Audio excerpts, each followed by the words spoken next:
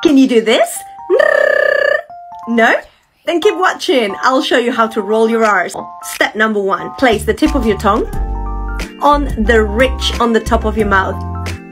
Now let a little air come through, as in the word better, better, better, better, like Americans do. Better, better, better. See how that's tapping? And that's creating a vibration. That's what we're gonna do, but a little bit stronger now. Step number two, place your tongue again, and now you're gonna let some air out, as if you were sighing, for example. You know, that kind of pressure is what we want.